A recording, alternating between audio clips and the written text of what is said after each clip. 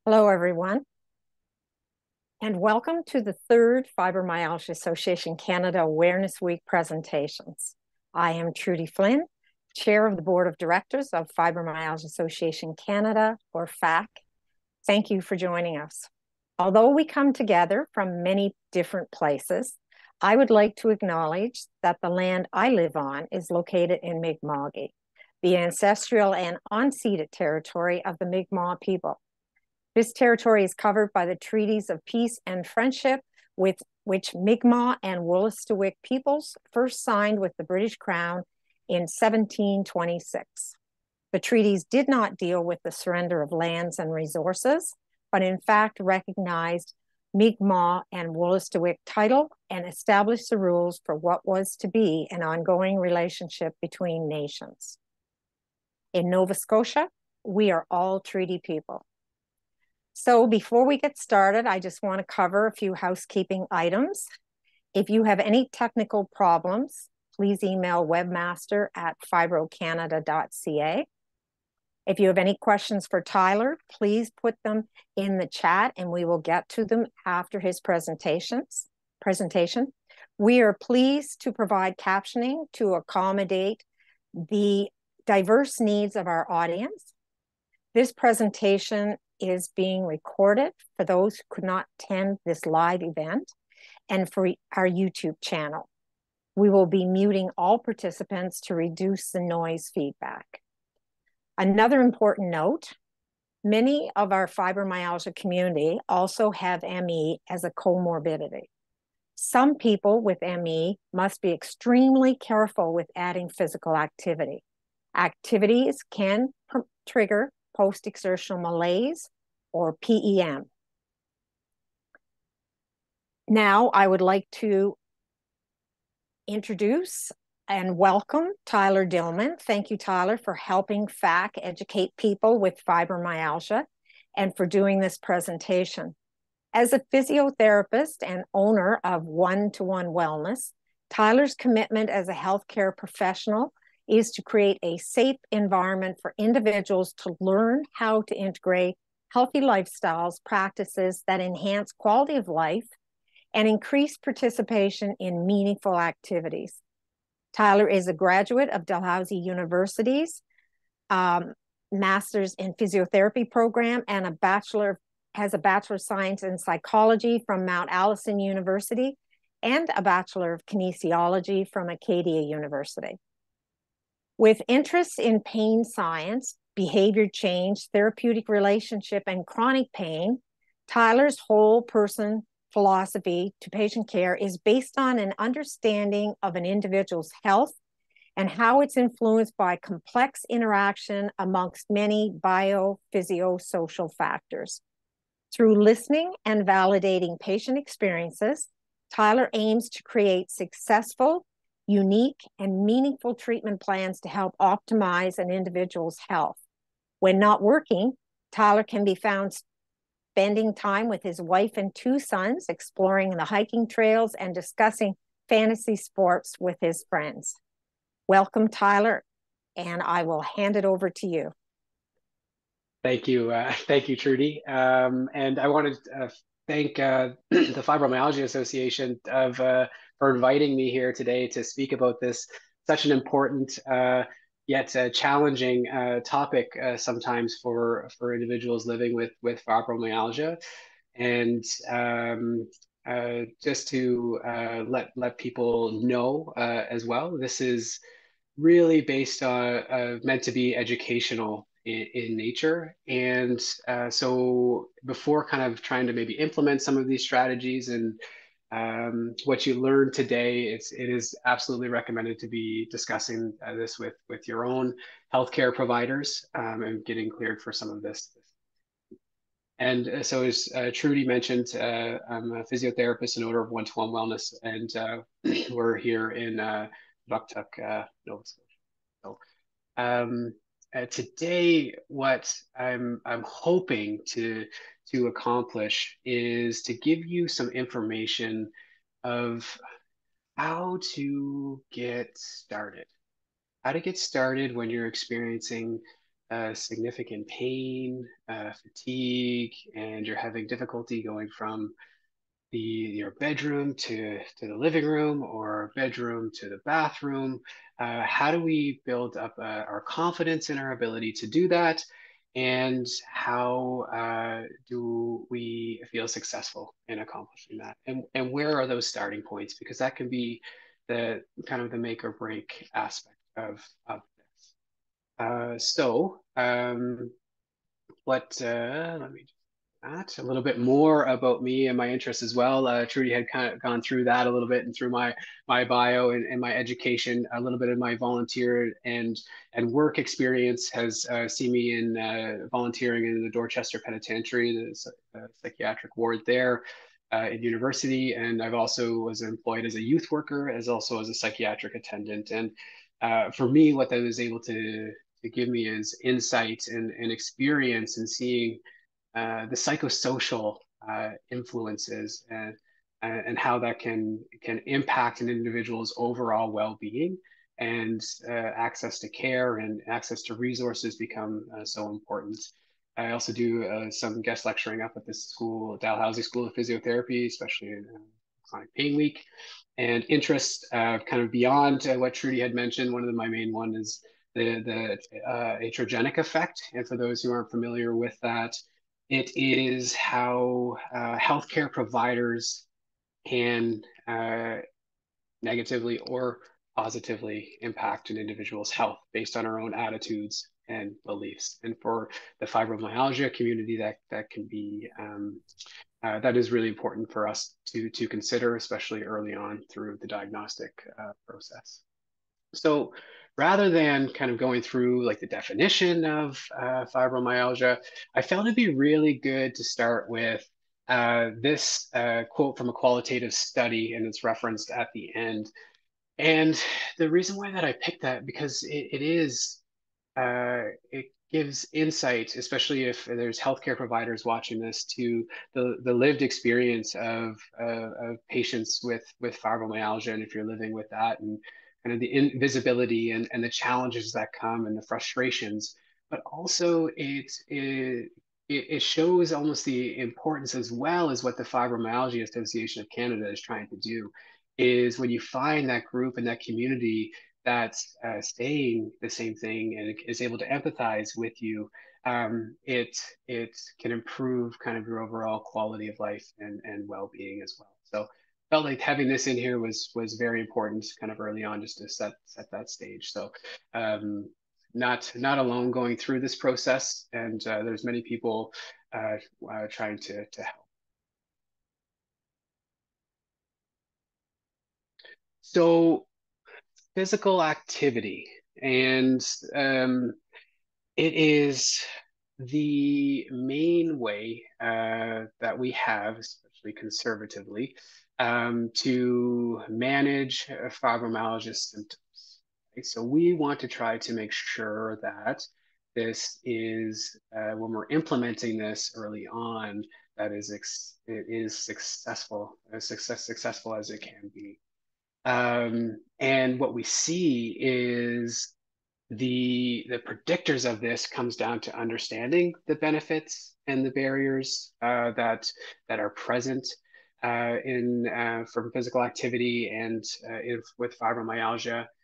A very key point is our confidence in our ability to be physically active, especially when we're in pain. Like, how confident do you feel uh, in your ability to be active or do a do a certain task? Like, that's really important, as well as our intention to be physically active and and most often what we what we see is the intention is there. I want to be doing more. I want to be physically active. I want to be engaged. But the behavior uh, is um, of being physically active uh, there's there's there's a gap in between. And so what we try to do is just kind of fill that gap and make that gap a little bit uh, a little bit less and a little bit less. And the education piece is really important. And that really comes down to more so that first point of understanding the benefits and, and what's out there uh, and with, with the barriers and what, what you have access to. And so why is it important? Why is activity and physical activity important? Well, what we see is it does reduce pain, it reduces fatigue, it also reduces cognitive uh, impairments.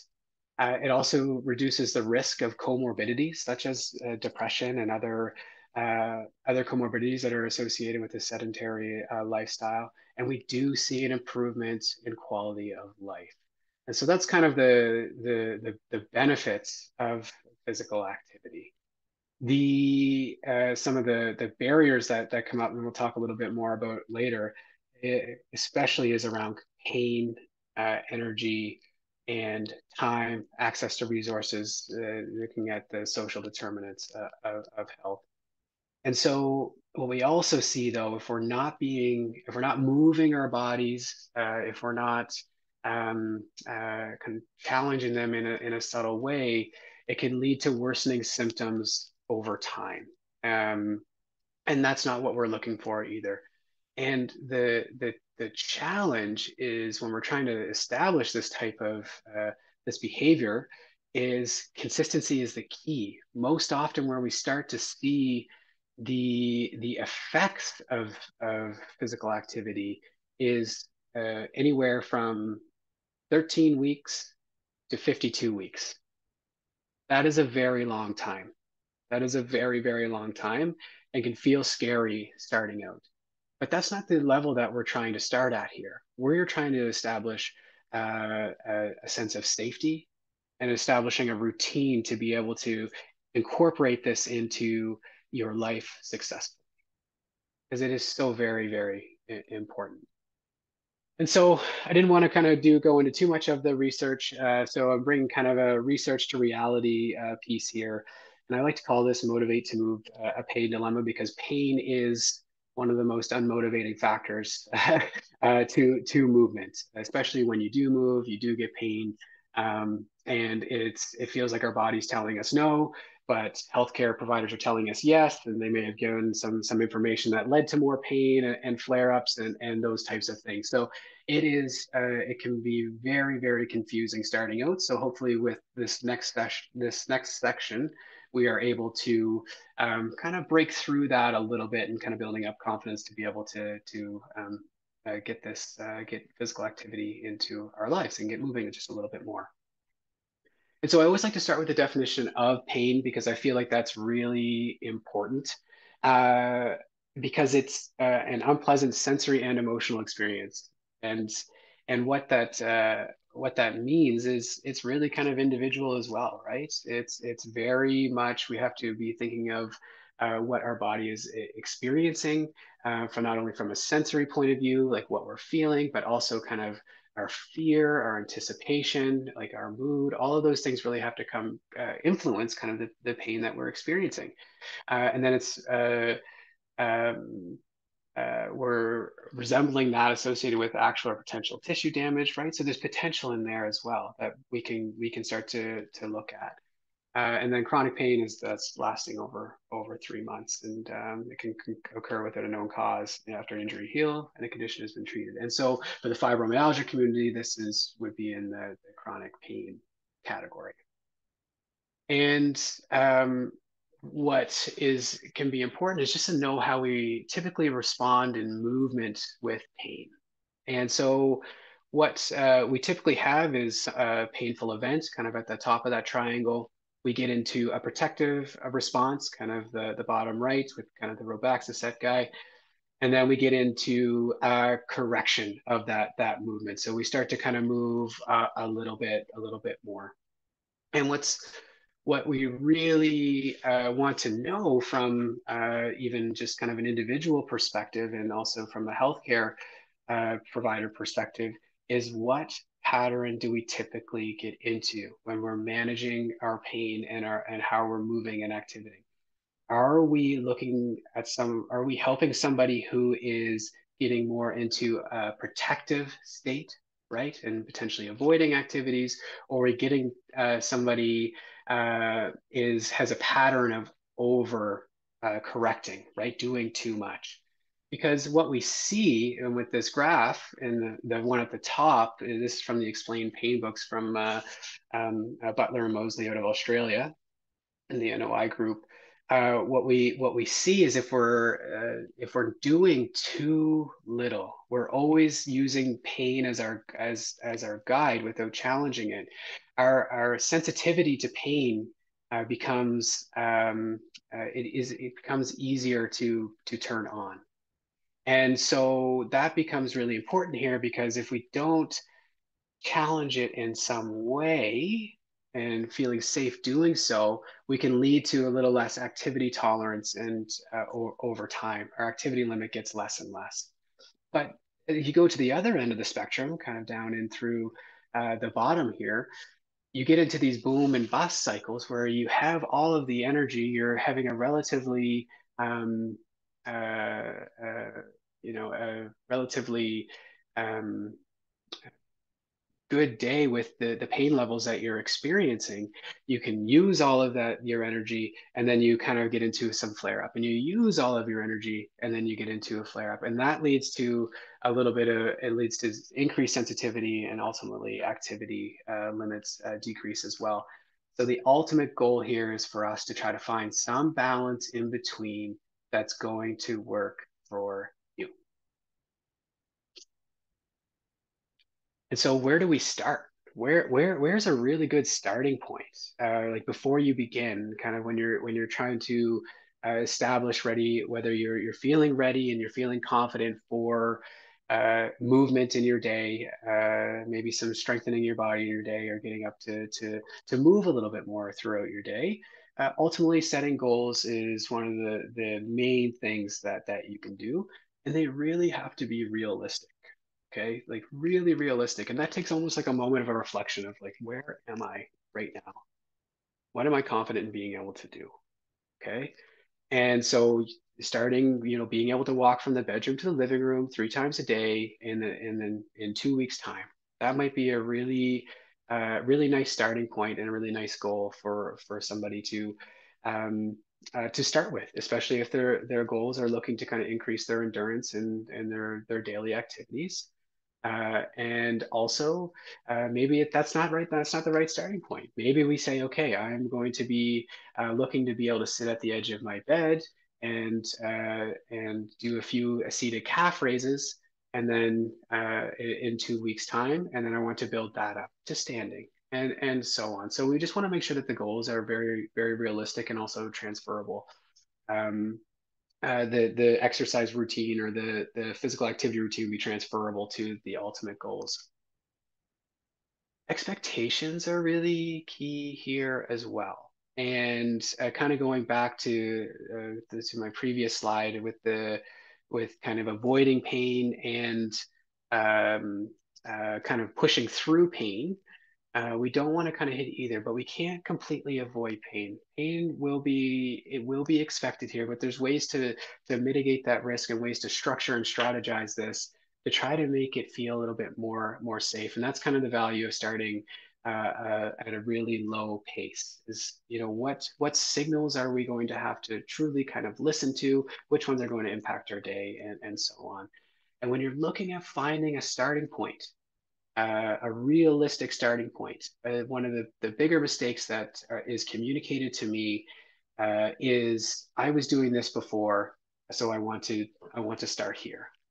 Okay, that's it. It, it really has to be around what are you confident doing? What are you confident in doing that it won't impact the rest of your day that impact the rest of your week and set you kind of into a flare? Like, is there fear that if you do a, a 20 minute walk or a 10 minute or a five minute walk, that you're going to be impacted for the next two days? Well, then maybe we need to reevaluate that. Most often, what I would say is find that point that you feel confidence and then scale it back to about 50% of that. So if somebody came in and said, you know, I, I feel really confident that I can do a 10, 15 minute walk and I'll be okay, I usually I usually kind of challenge that and say, do you know what? Let's actually scale that back. And let's go five minutes in that day. And then let's slowly build that up. And and the reason is is because we're trying to establish again that routine and that behavior and that sense of safety. If we if it, and you're kind of looking at the pros and cons of uh, of uh, and and the risk of kind of potentially going into that that flare up. And not uh, we want to kind of say okay let's start a little bit below that that that confidence level. Let's make sure you're at least 95 98 99% confident that you could do five minutes. And then you can layer that up and kind of really build up to that really confidence level. And then it could just keep kind of having that domino effect kind of moving forward of well you know what? That was that went really well. I had i had some pain. It didn't impact my day. Okay i'm ready to move up to five and a half minutes you know what? I've done that for the for the for a week. I'm ready to move up to to six seven minutes at a time. And you can kind of build that up. We're we're again we're this is very like long term. We're trying to get this as consistent as as possible. And uh, that doesn't mean starting with the activity guidelines that are recommended uh, by um, um, Health Canada, right? Those are those are maybe some goals that we could uh, work towards if it's um, if it's realistic, but it's not where we would want to be starting out at. Um, and I love before we kind of get into this movement uh, topic, I like bringing in this uh, this picture of our nervous system in a in a simplified way during these these types of presentations because uh, one, I, I, think it looks really cool, and uh, and two, uh, it's it's really what we're trying to influence with a lot of this this movement is the response of our, our nervous system is having um, to to movement, and how can we influence the nervous system in a very positive way, a nice calm way that's making us feel safe, uh, or are we doing things that are making it feel unsafe, and then how do we manage that? Okay, and then it also does a really nice, it gives a really nice visual of there's a it's we're connected right? Our our our the our hands are connected into our shoulders. Our uh, it doesn't have the feet but our feet are connected in through through the hips and the low back. So when we're when we're working in kind of incorporating a bit more movement we don't always have to start at those the places that are are, are most sensitive right? If you have the most sensitivity and, and pain in kind of like your low back or your neck or um, uh, or your shoulders, we can start away and start to work a little bit, a little bit towards. Um, again, just trying to establish uh, some some starting point uh, for uh, movement, some framework uh, and, and baseline. So, so some movement tips. Uh, what I usually like to start with is kind of along the line of somatics and under the principle of edgework. So somatic movements, if you're looking for some resources, uh, Thomas Hanna, Feldenkrais, um, uh, Martha Peterson has some wonderful videos on, on YouTube uh, as well. And sometimes uh, you may have to scale some of those movements back uh, as well uh, also. And so what I like about this is they are meant to be very calming. They're usually done in laying down or, or, or sitting. And so that just provides a nice, safe, um, a sense of safety just to begin with, because we're not really having to fight gravity as, as we're doing this. So a little less muscle, muscle tension uh, and uh, resistance there, which can feel really, really nice. And uh, edge work is, is really nice uh, in the sense that it allows us to kind of analyze our movement and seeing what we're, we're, we feel ready for, uh, what we're priming our nervous systems for, for a little bit more um, resistance when we're kind of getting up and, and moving, um, maybe in sitting or, or standing. And so what the, the, the way that it typically works and the way that we guide people through this is you don't plow through the sensations that you're experiencing when you're doing some of the, you hit the, the edge of it you can take a deep breath. You can figure out, am I tensing my body when I'm going through this movement? Am I holding my breath as I'm going through this movement? Am I anticipating pain as I go through this? And you can become a little bit more curious. And that can help kind of uh, calm your nervous system down to maybe go a little bit further and tolerate a little bit, a little bit more and we start with what feels safe. We're always kind of going into a movement that that uh, that feels successful and feels safe. So you you kind of start in that that place of safety and, and kind of challenge that sensation that that you're experiencing. And ultimately, we're trying to make these uh, transferable to your goals, so you can kind of see the picture and see the um, uh, the kind of the building blocks to getting up and accomplishing this. So the next picture that I have is is a little what we call like feed in and out, right? And so uh, this the way that this one works is it, you start to kind of move your ankle in, and then you'll move your hip in, uh, and then if you're starting to experience a little bit of tightness, tension, pain that you're unfamiliar with, or not feeling comfortable, or not feeling safe with, then you start to turn your ankle out, and then you go back to that place of safety, and then maybe turn a little bit further out. And so what's nice about a little movement like this is not only is it, it can be cognitively challenging trying to move our, our foot uh, without our hip, uh, but it, um, it also like these movements uh, need to occur in walking, in sitting, uh, sorry, from sit to stand. Like these are muscles that are engaged during those.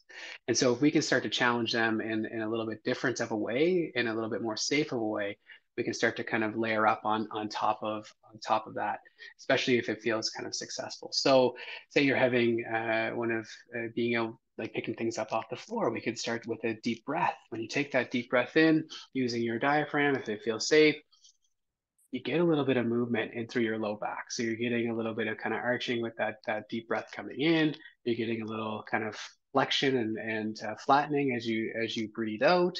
And so you can start to exaggerate that movement. And again those little those little spine and hip movements happen every step that we take every time that we're getting up uh, from from the toilet uh, and uh, getting up from our bed like all of those things are happening. So we can start to kind of layer this movement up into some of those um, some of those goals. Strengthening. Strengthening tips um, this can be, I would say, a lot of people have had uh, negative experiences with trying to challenge their body and strengthening their bodies, and uh, most often it's it's no fault of of their own. It's kind of just guided in a little bit.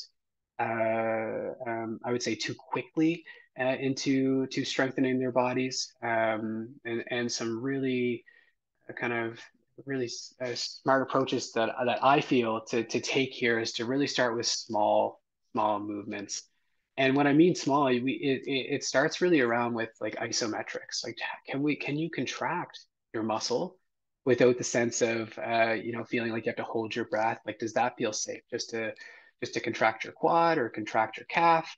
How's that feeling?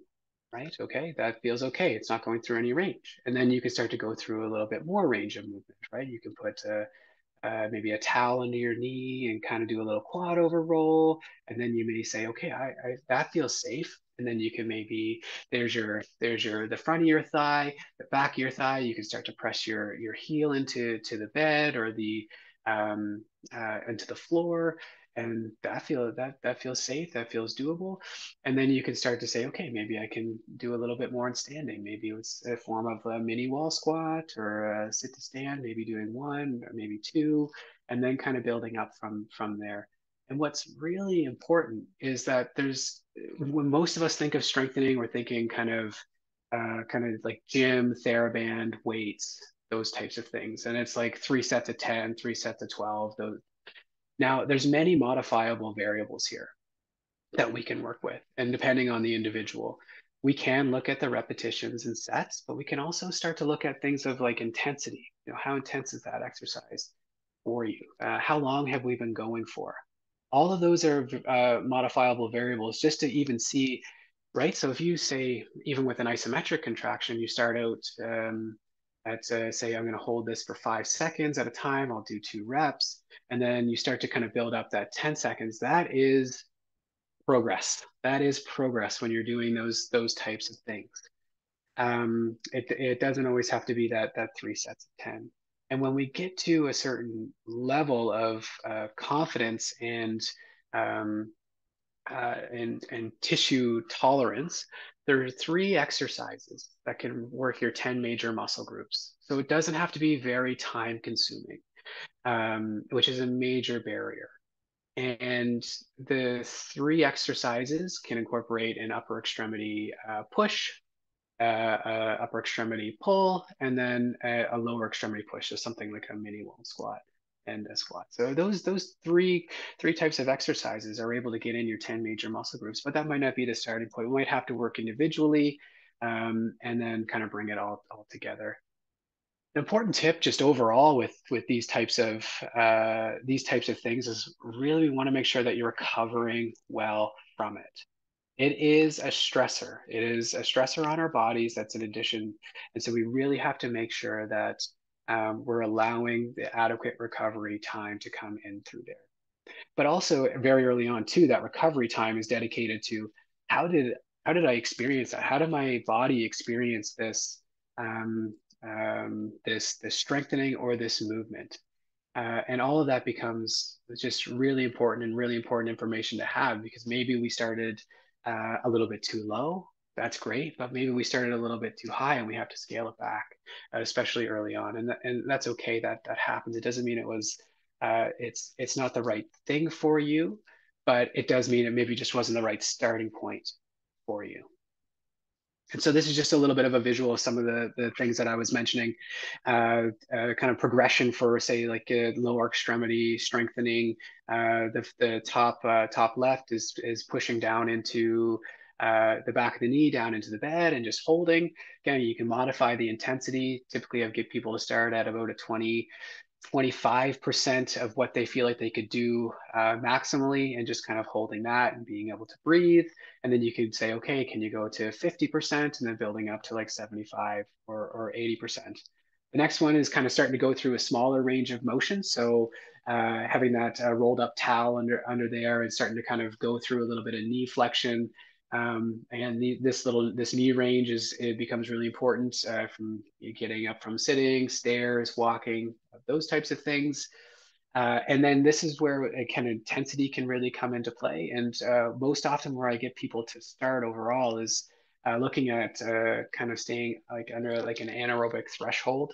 Uh, in just saying about a, I'd say more mild to moderate intensity feeling as we're going through there and then uh, starting to kind of time people and, and how long that they can they get to get to that point um, and then we can start to kind of add on a little bit more. And then something uh, uh, kind of the bigger picture there on the right is kind of something along the lines of maybe a mini wall squat. Uh, just that starts to challenge the glutes the hamstring starts to bring things together a little bit. And that might not be until weeks down the line right? That's that's that's probably not something um, uh, to to start with if you're experiencing significant significant pain and and having trouble with some of those those motions. That's probably um, a good few weeks down down the line. And so I had mentioned a little bit earlier just about a, that evaluation, right? And was the activity safe? And how do we know? Right. And so the recovery time can be really important. And this is kind of more from like a pain pain perspective. And so what what we can look at is you know how was there pain in the moment? There there most likely was but how long did it take you to get back down to your baseline? Right? Did it take uh, a couple of hours or did it take uh, 24 hours or did it take 48 hours? That's all really important information right? So remember if you're going back to how our body is responding to the, the to movement and activity and pain um, it's it's about challenging that. And what we're starting to kind of see through mostly through our, our tendinopathy uh, literature um, and uh, but we're seeing kind of working into some of that pain and having a little bit of that uh, like a little bit of recovery uh, or analyzing that recovery window is is really important. So if somebody says you know what? I had pain for like two hours i would say that that that would be expected here right? We we can we can if it felt okay and it didn't impact the rest of your day beyond that and you were still able to to function and do all the things that you wanted to to do then that's something that we might be able to challenge a little bit if it feels safe to do so. And but if it was you know over a day or uh, two days then we're probably going to have to scale that back a little bit. Um, we probably just just challenge your nervous system a little bit too much more than what it was ready for let's let things kind of return to your baseline and then and then come back. And kind of to that overall daily impact we do want to take that into account. We like we do not want to be uh, influencing other factors that are really important for you say you know kids work grandkids family time social time. All of those things are really really really important. Uh, we want to make sure that um, uh, when you are experiencing these these bouts of pain that uh, that your mental health is okay and and those those types of things and then we're looking at uh, at your overall energy as well right are we did we see a, a, decline in your in your energy over time? And as Trudy had mentioned, post-exertional malaise can be common in with with uh, um, or ME is common with fibromyalgia. So it's something that we we just want to consider if if that's uh, something that you that you're struggling with as well. Uh, but we we can just want to look at overall energy and and did that deplete a lot of the resources that you have, and then we build that up over time if if it all felt felt safe. And just a couple other factors to consider, right? We're dealing with the nervous system. Okay, And so what what can challenge our nervous systems that we might not be uh, aware of, right? So busy environments can be can be a challenge. Are we sensitive to lights? Do we maybe need to have blue filter glasses or, excuse me, um, be in a, an environment where we can dim the lights down a little bit? Uh, noise is do are we have sensitivity to noise? Uh, maybe some um, noise cancellation headphones or um, again, just finding a, a, less busy time to be able to, to do this, or if it's a um, if you're in, in your house and there's uh, you have some have children that are running around, um, we may want to kind of find structure a time where you're able to to do this in, in a kind of a little bit more quiet environment if, if that's possible, and also looking at things like scents and, and and those types of things. Finding a finding a friend that or uh, somebody in, in in your community that you can partner with uh, and uh, and kind of make goals together of what you would like like to accomplish. That that can keep us uh, accountable and kind of moving forward, and uh, it's just that support over over time. And one thing that I, I typically recommend is do not change too many variables at once. And what that can look like is, uh, say somebody's doing the, the that quad over roll exercise, they're starting to um, they started maybe with one set, four to six reps, and now all of a sudden they're doing uh, three sets, four to six reps, right? And so that's a big jump, a big jump in um, in overall kind of activity and overall uh, challenge level. And so you, what I typically recommend is um, a change one thing at a time, right? If you're going to be changing the the the amount of sets that you're doing, you probably want to do like uh, if you start one set four to six, you could just start from going two sets to two sets of, of three, two sets of four. So they're really the only you get one more uh, repetition in there, and then you're able to kind of see if that you're able to tolerate that a little bit. Then you can kind of kind of build up on those. Um, and so it's and also like you're looking at overall intensity and, and those types of things uh, as well. And so a couple of key takeaways uh, from from this uh, this presentation that I, am really hoping that you were able to learn. Uh, the benefits right of, of physical activity is is really really really important and it is a, a key management strategy. Uh, there are significant barriers in place pain being one of the main uh, main ones uh, to getting started. Um, if we can find a way to build your confidence in your ability to be physically active, uh, that can go such a long way. And so finding that the starting point is so, so important. Um, and also having that, like the intention of, of exercise is really important. If there's no intention there, then it's a little bit more kind of, of um, discussion around some of the benefits and what you're experiencing and uh, how we can kind of uh, try to try to move you forward and feeling confident in your ability and, and trying to build up that, that intention. Pacing really is key. It is it is one of the major factors here, and kind of the guidelines that we see is around a 10% increase every two weeks with with kind of challenging your nervous system and um, and so it's it's about going low and slow.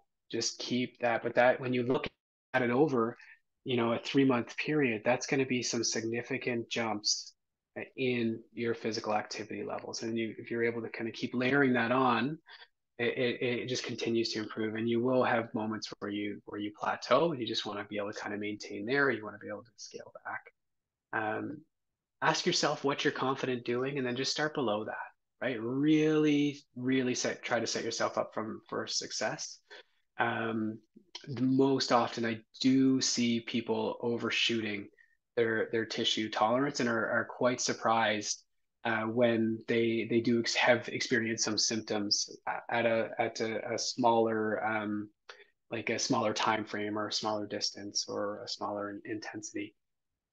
And really focus on keeping it simple. Quality over quantity goes a long way right? Uh, start with start with one and feel really safe with it and then build up from from there. Feel like you're having really quality movement and that it, it makes sense uh, in a way that makes sense for you and kind of to my previous point there just be okay with scaling it back. This is change over long periods. We're not looking to um, uh, to kind of keep pushing pushing through and um, having a, a, really adverse reaction that can uh, limit your ability to and and your confidence to be able to be physically active over time. And uh, yeah that's uh, i have some references here that guided this presentation today if anybody wants to uh, have, have a, a, closer look at those um, and if there are any questions, uh, please, please ask away.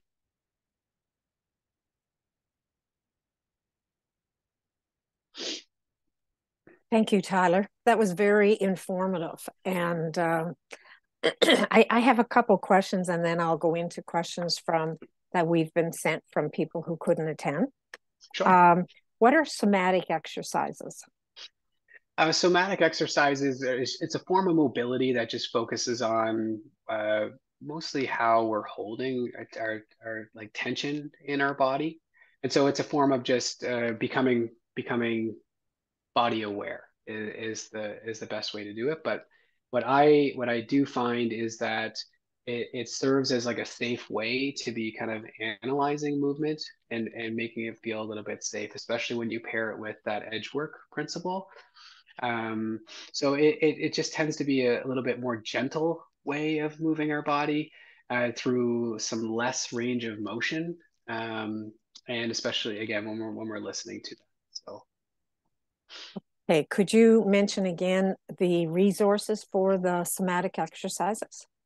So there would be uh, Thomas Hanna Somatics. I should have put this in, especially in the references. My apologies. Uh, Martha Peterson has a YouTube channel. I also think she has has a book. Uh, and Feldenkrais would be uh, the other uh, resource for that. And that's kind of okay. Thank you. And so, what's edge work as we're moving on with that? Yeah, yeah. So I I, uh, I apologize if I wasn't quite clear on my description of that. It's uh, about challenging the um, our the pain that we're experiencing, right? and so when we're when we're using edge work and if somebody was in in my room and we were kind of going through some some movement i would be saying go to the edges of where you feel comfortable okay? So that movement right? So if if like with say my wrist in particular like if i had a movement here it started to hurt i wouldn't just push through it right? And say do you know what? That's that's as far as i can go not where i feel safe and then from there you can start to move back. And what we tend to see because we the the nervous system responds very quickly to mechanical like just just movement. Uh, it's uh, we can see a little bit more range of motion that happens over time. But with edge work too, it's not only the sensations that we're experiencing with say pain. Um, it's also uh, are we expecting and anticipating pain, right? Are we're starting to kind of tap into a little bit of of our of the processes that have have developed um, uh, maybe from like avoidance of, of the activity or we're just in in a sensitive state so we are able to kind of just say okay just take a deep breath let's try to reduce the fear and bring calmness at, at that movement despite what we're we're experiencing uh, Cory Blickenstaff has a video in the San Diego Pain Summit that that, that does a really good job of explaining this uh, as well. I'd recommend that. Okay, thank you. Yeah. So um, just one second. Uh, sure. Charlene said, Thank you for this information. I've had many, many weeks of PT. I find it most frustrating when I become confident in a particular exercise or activity, and then said exercise or activity causes a flare. Not sure mm-hmm. if I'm alone here. Oh, you certainly wouldn't be alone. Um, absolutely not. Uh, sometimes when when we get challenging our body, and if and I don't know the, the specifics, but uh, it doesn't quite make sense when we're doing the same thing. Uh, uh it feels safe one day and and not safe the next, and um, uh, it's uh, there's so many factors that come into play with how uh, we need to uh, be kind of structuring exercise and movement and physical activity. Uh, again, kind of looking at like the recovery from the previous event. Uh, are there more life stressors? Was our nutrition off? Did we have uh, more sleep or less sleep than we usually do? Um, all of those factors can come into play, and sometimes it just it, it, really doesn't make sense. But we we it, is it is very very common, and kind of evaluating the the the pain um, can be really important there, right? Of you know was it how how in the moment kind of you can ask yourself how dangerous is this is this really and that kind of comes through that reflection type of process and kind of building up up slow as well. And uh, it was how long was the recovery time from that? And what i would typically recommend in those instances okay if if it was kind of a 48 hour week or or more we just want to scale that back and build it up. And it's constantly the, the challenges with this is it's rarely ever kind of consistent and linear uh, in kind of like the the progressions and what we're doing.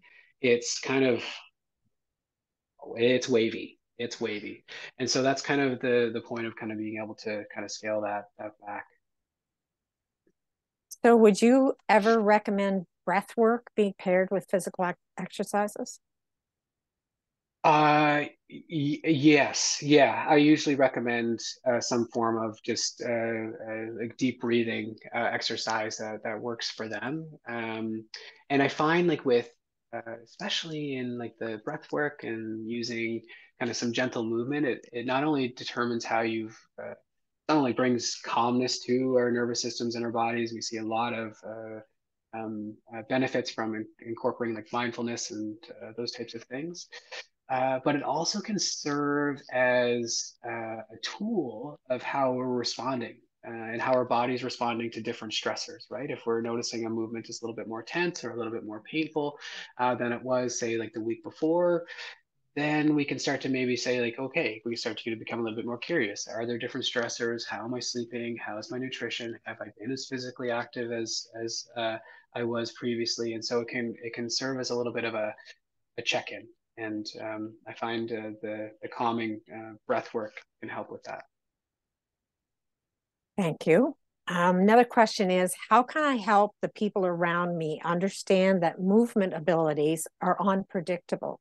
How do I get them to understand that help is, is needed often? Yeah, that's uh, it can be certainly a, a challenge, um, especially if you're not using mobility aids, is uh, uh, to make it a little bit more visible. Um, education is the the biggest one of the biggest pieces that uh, in people can provide for their family, um, and I would say getting them maybe to to attend uh, uh, a, a, session with the healthcare provider that's really knowledgeable and you feel really supported by and you would feel safe bringing them to uh, could be could be beneficial.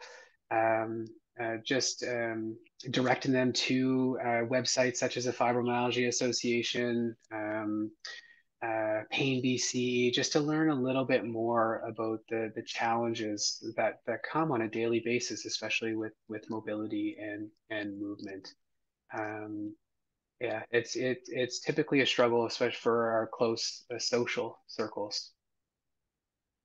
Thank you. Um, mobility restrictions are our new normal, especially with flare up. What mm-hmm. can I provide my employer with to help them truly understand what they are dealing with as an employee, employer, well, as an employee with fibromyalgia? Sorry. Are there workshops, documents, or programs that companies can incorporate into their workplaces? I I don't know the the the answer to that to kind of lead to like a direct resources for em, employers um, uh, to to understand. Um, I kind of leading them again towards some of the more kind of like the Pain BC, the Fibromyalgia Association, those types of things would be be really really important. Um, it's uh, also would be important for them to kind of uh, uh, make sure that your environment is is set up for success for you in, in the workplace. And so, uh, whether that's ergonomic assessments or um, uh, being able to uh, structure breaks in a little bit different of a way, um, that that might, if if possible, uh, those those types of things. Um, but uh, to be honest, I'm not quite sure of anything kind of like handout or education resource for employees at this time. If anybody has anything, I would love it. if uh, if you could send it my way.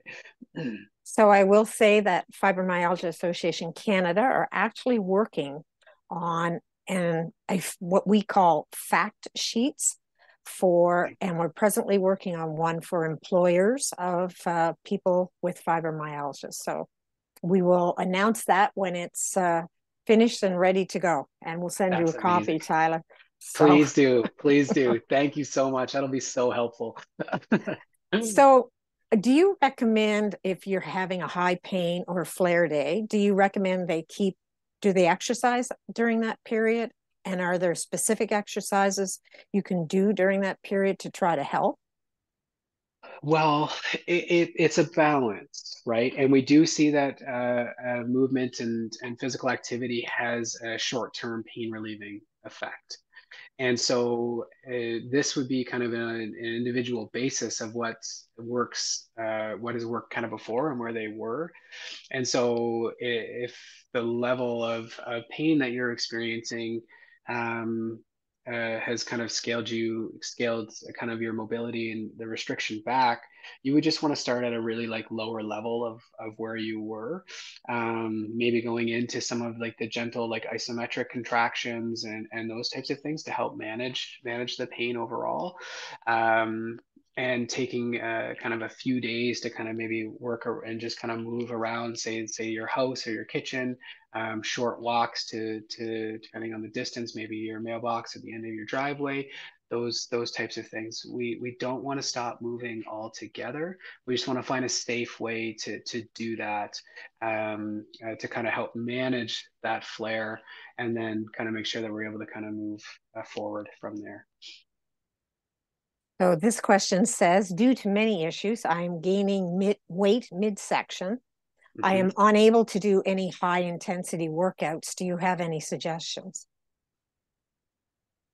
Yeah, so uh, anything, um, uh, any conversation around weight also has to come with like nutrition uh, as well. So seeking some nutritional support would certainly be um, uh, important. And there's, and it's not just it maybe not be kind of the calories in, uh, calories out type of thing. Everybody's metabolism is completely different, but uh, making sure that we're getting uh, kind of good energy in our body is only going to help uh, kind of our health in, in the long run.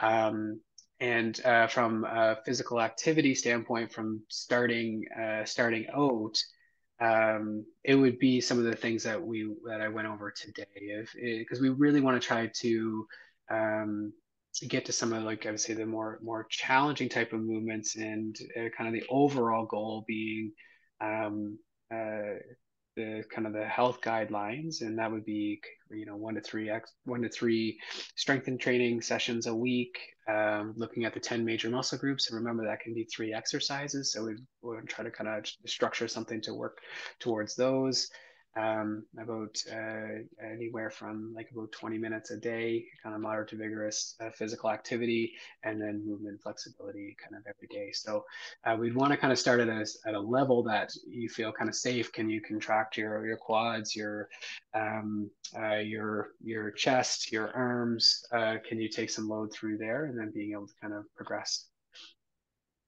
So, what do you think of pain management apps?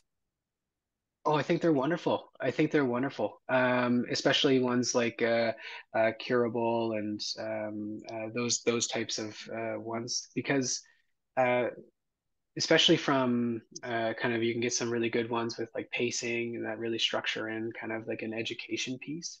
And what we if you're kind of looking at what you can potentially spend in kind of say coming to see see me right especially if you don't have insurance um uh, extended health insurance or um even if you do the amount maybe the amount of sessions like that that say i don't know 50 100 dollar like investment um, could save you a couple of sessions um, uh, of of education right and kind of get that get that started for you as well. So uh, and and uh, they're they're really evidence based like the the good ones are are evidence based and and designed by by professionals that that really get this space. So uh, finding the right one could be key.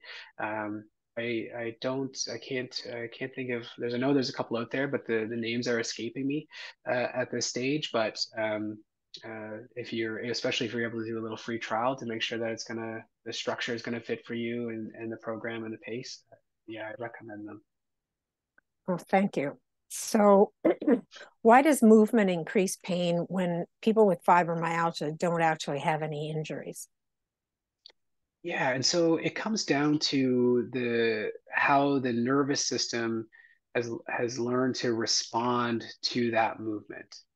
And kind of going back to kind of like that, the uh, kind of the definition, uh, kind of a pain and that that activity management it's it, it really comes down to kind of processing in, in the sense of safety. So when we when we kind of go through a, a movement or the processing happens so fast it says you know what? This is this isn't safe. We got to let uh, this individual know. We got to let our body know you know at this we that we're not feeling comfortable here so it becomes painful and that that becomes uh, very very much automatic and and and a lot of centers that we have no control over. This is kind of some more of the automatic centers of, of our brain. It becomes really powerful, right? And and we um, we don't, you know, innately we don't want to be in pain, right? So movements that cause pain um, are going to continue to get get sensitive over time. And so a lot of what we're trying to do here is just kind of change kind of the i guess our relationship with that movement and trying to create like do you know what? This actually is is safe for us to be to be doing um, and trying to reduce that sensitivity and and kind of um, uh, and evaluate and see kind of where where our, our nervous system is at. Um, yeah. Okay thank you. Uh, tamara just noted that she just wanted to share that pain canada has a free online program called Live Plan Be Plus. That seems pretty mm. good. Yeah. yeah. Are you familiar Amazing. with that one? Uh, no, no, I haven't. I haven't come across that one. That one yet. Um, do you think exercise like, uh, excuse me, yoga, tai chi, qigong are uh, safe exercises for people with fibromyalgia? Uh, yeah, yeah, I do and any movement that feels safe uh, to for individuals and any way that we're kind of moving our body is is is good but um, that comes with the, the the our research is a little bit lower for kind of like overall effects with the symptom management of the fibromyalgia with flexibility right now and the stuff that I've seen around the Cochrane reviews. Um, so kind of the I would say yes from a general health standpoint, and we want to be making sure that you're moving your bodies in, in any way. The you know Tai Chi, Qigong, yoga are wonderful for that. Um, uh, Neil Pearson is is does a lot with the the yoga, um, and I think he's out out in BC. Um, and we do want to be kind of the the the best evidence that we see is in kind of the the um, like aerobic activity and and the strengthening. Um, but uh, they they are safe, especially if you're you take your time with it, right? Um, and so if you're you're interested in that, you know, watching videos, make sure that it feels it looks visually safe to you, and then just kind of gradually kind of doing it for maybe five five minute video, ten minute video, and just trying to progress your way up through um, some of those sequences there was a clinical trial, excuse me, back in 2009, 2010 era, um, that the Nova Scotia Pain Clinic did on Qigong and fibromyalgia to see if that practicing Qigong would help people with fibromyalgia. And the results that came out of that study was 30 to 45 minutes a day practicing Qigong actually did help people with not just their pain levels of fibromyalgia, but also the cognitive and the brain fog. So it, yeah. uh, I have to say I was part of that clinical trial. So I um, it was it was uh, beneficial actually to me. So yeah, totally. And like that, and the movement brings in like the, uh, especially those types of, of movements in, in Tai Chi and Qigong, and, like it brings in a, a very much a, a, cognitive aspect to it. Uh, mm. um, and it, it's, it's, it's very valuable, very valuable overall. It uh, focused on shutting your brain down, mm-hmm. you know, like uh, giving your brain a rest, and uh, which is really a pretty powerful tool. So to be able to do that, unfortunately, I wasn't always able to do that. So, yes. but that that's the challenge, right? Mm-hmm. so thank you very much, Tyler. This has been great, and I know that uh, not only the people who are attending today, but the people who will see the recording will really appreciate this. So it's how to get started. There's so many of our community that are not able to get off the couch, that are not able to move at all. So it, it's very valuable, and education is the key. Yes, it is, and uh, um, yeah, be find find where you're confident, mm-hmm. and then move from there. Move from there. Thank you for having me. This was this was amazing. Appreciate Thank it. you. Thank you very much. Bye, everyone.